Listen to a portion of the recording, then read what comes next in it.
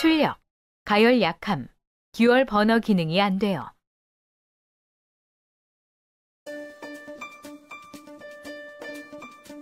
전기레인지는 글래스가 고온에서 깨짐을 방지하기 위해 자동으로 온도를 조절하는 온오프 기능이 있습니다.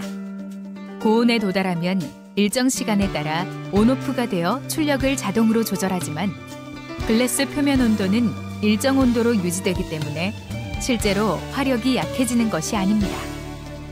고온 도달 시간과 온오프 주기는 이용하는 용기, 음식물과 출력에 따라 달라질 수 있습니다.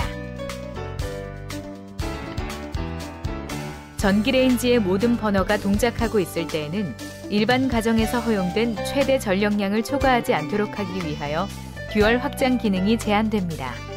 단독으로 사용하거나 두 개 이하의 버너를 사용할 경우에만 듀얼 확장 기능을 사용할 수 있습니다. 감사합니다.